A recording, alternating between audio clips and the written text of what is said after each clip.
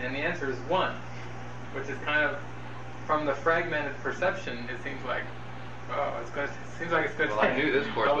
Right. Now I really know it's Yeah. bad. One, you don't know how bad this world is, Jesus, but but the ultimate basis behind that is that there's only one mind, and he's addressing it to the reader. In other words, it, it's such a big leap to think about it, but there there is only one mind, and and when the mind bites off the belief in separation, it seems then that the minds are contained within these bodies. In other words, it seems like Vicky has a mind of his own, Ron has a mind of his own, and David, and so on and so forth.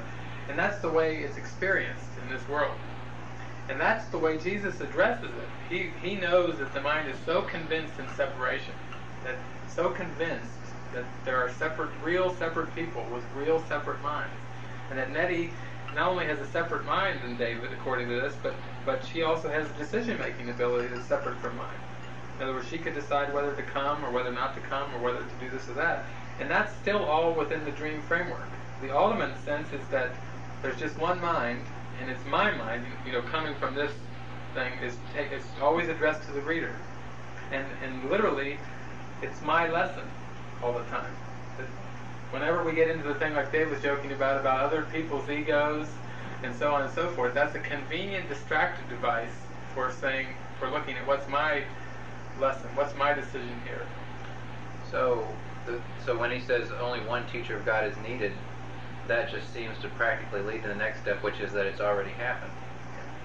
If only one is needed, then it's like it's already. It's, to me, it's like it's already there waiting for me as soon as I'm ready to recognize it. And then I know it says in the course that as soon as I do recognize it, instantaneously I will realize that it's always been that way. That it never was not that way. I was just refusing to see things the way they are. Yeah. to me, that helps to explain something like if a you know a new baby comes into the world and you pinch it really hard and it starts to scream and cry, then you know it hasn't learned much here in this world. You know enough to you know learn about things like you know that's an expression of guilt and an expression of a desire to die. Mm-hmm. But then when you start to take it to the idea that there is one mind that has made the decision or the choice to separate, then it just makes the tries to make the illusion as absolutely real and believable as possible. So when we come here as babies, so to speak, we're like really helpless against this illusion almost, it seems like. I don't know if that makes In a sense, if we take it back one more step, remember that it's the mind that's sick and the mind that's guilty. So the form of a baby, or the form of, of even thinking we come here, still gets into the idea that we're kind of born into bodies. It's, it's helpful to just think about it as, as, as the, the mind is the mind. The mind is where all the beliefs and thoughts are, and this the screen where the where the babies are, and, and the seemingly aging takes place, and all these things. That's just the screen, mm-hmm. and it's just the mind. Yeah. Well, what I was saying was that, that a baby doesn't seem to have choice.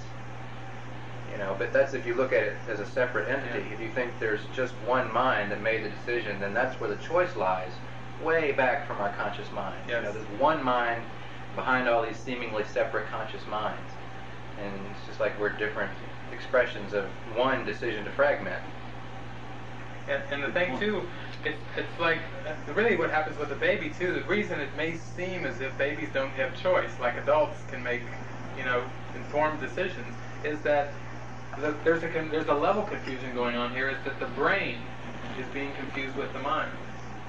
You know, the brain, obviously, the the development of a baby's brain, if you trace it from an embryo on, you know, it's not the baby's brain is not fully developed. Neither, neither is in the uterus and so on and so forth. And remember, the brain and the body and everything on the world is just images on a screen.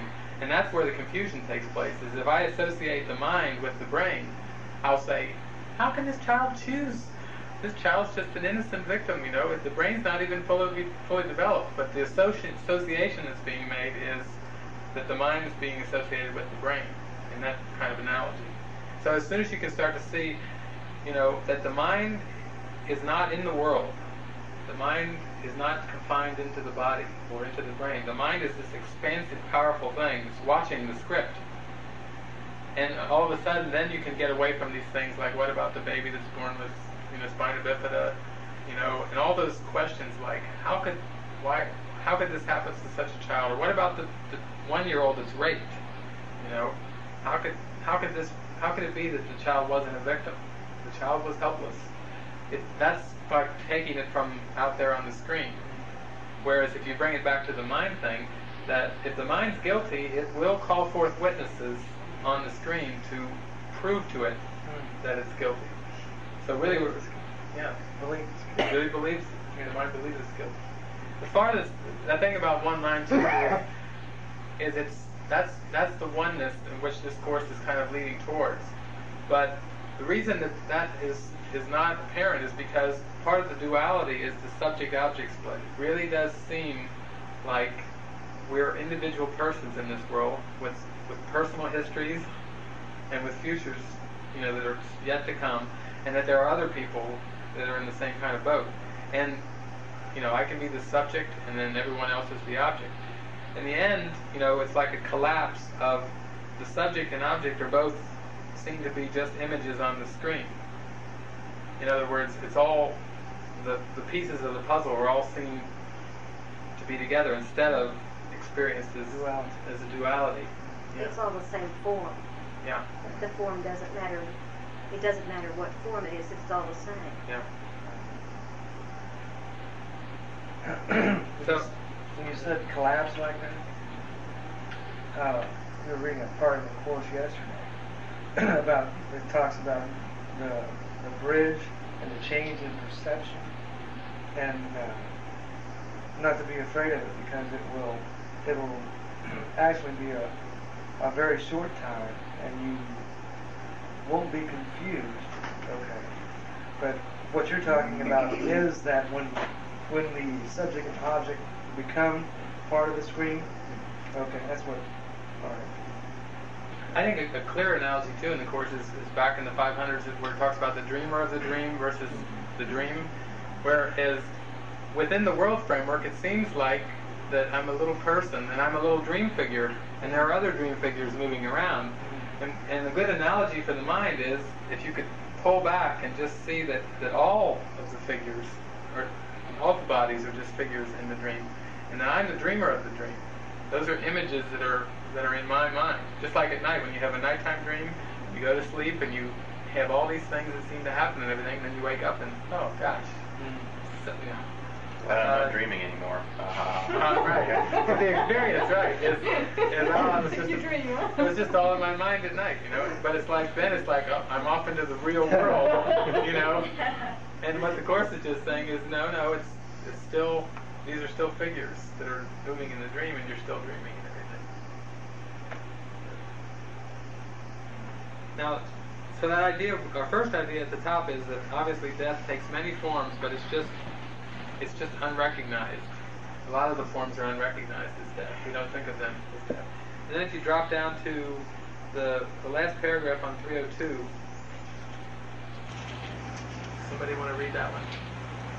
It is impossible to worship death in any form and still select a few you would, would not cherish and would not and would yet avoid, while still believing in the rest. For death is total. Either all things die or else they live and cannot die. No compromise is possible. For here again we see an obvious position which we must accept if we be sane. What contradicts one, though, enti- though entirely cannot be true unless its opposite is proven false. And this idea, it kind of gets at the first principle of miracles, that there's no order of difficulty in miracles. In other words, we need to train our minds so highly that we we aren't fooled by these unrecognized forms of death in any way, shape, or form they can take. That we become so clear and riveted to the Holy Spirit's purpose that we that we can train our minds that we're never victimized by external circumstances. It can certainly seem like um, it, it's a real hot day and I'm getting very hot and it's humid and I'm feeling very uncomfortable. You know, it can certainly seem like it's the it's the temperature and the humidity that's doing this to my body.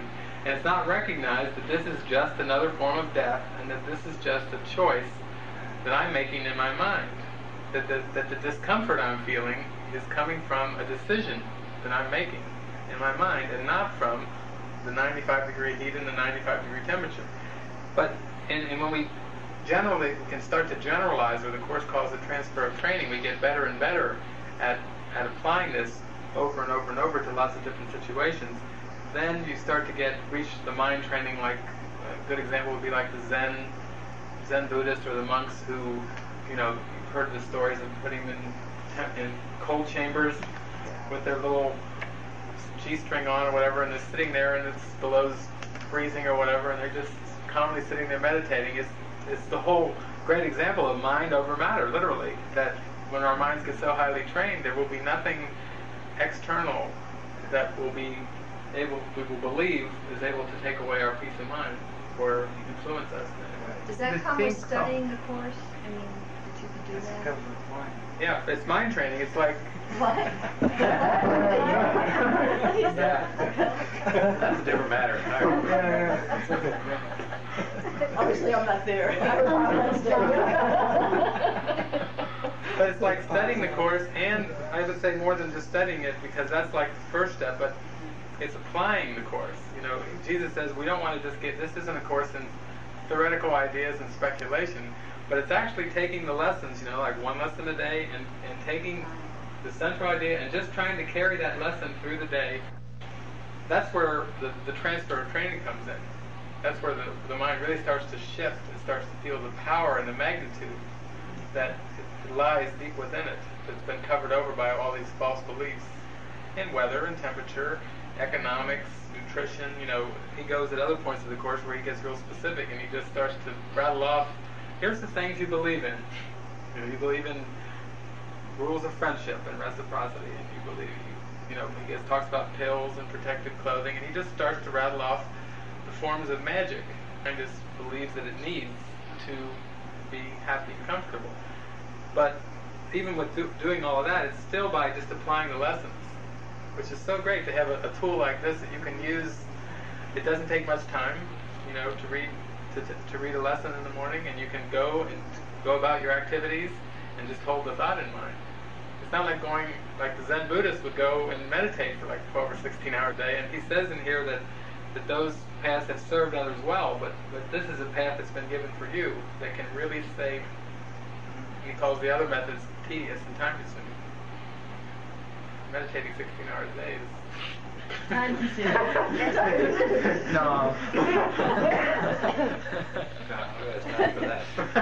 That's right. Uh, let's let's make some more uh, like elaborate a little on, on these ideas uh, because I guess there are different ways to go about that and the course is, is one of them but the other ones it's not so much spiritual development because somebody can I don't know can walk on water or just be in a sub-zero room or say in a room of sub-zero temperature you know without any clothing and not have any problem. But this doesn't necessarily mean that he's making the right choice at the level that the course is talking about. I mean somebody you know, can become a great tennis player, and likewise can study under a master and I don't know know how to move Pepsis with you know their eyes, you know how touching them. But but the idea is that the choice is not made at the level. Okay, I, my mind chose to feel cold in in uh, sub-zero temperatures, so therefore my mind now will choose to feel okay in sub-zero temperatures. It's not that type of choice. The Right. choice is at the level where who am I and who is my brother and what is the world. The choice is at the level of how we view ourselves, other people in the world. Is it as God created them? Is it eternal? Is it spirit? Is it innocent? Is it completely whole? Or is it limited, uh, subject to death, to dying, to, to suffering, to injuries, to accidents, to all kinds of things? And that's why it says all these things are death. Because really, any idea of ourselves that is not as God created us is death. Because it is the death of, of eternal life. So even though the death of eternal life is not real, our minds have believed that it is real. And has become a little body, you know, with a little life, with subject to all kinds of suffering finally death. And you know, if you see, you know, the difference between a body living and a body dying is so in, infinitesimally small compared to the, between a body and the glory of the Son of God as God created the, created him that really doesn't make any difference whether the body is walking, whether the body is collapsing, whether the body is suffering.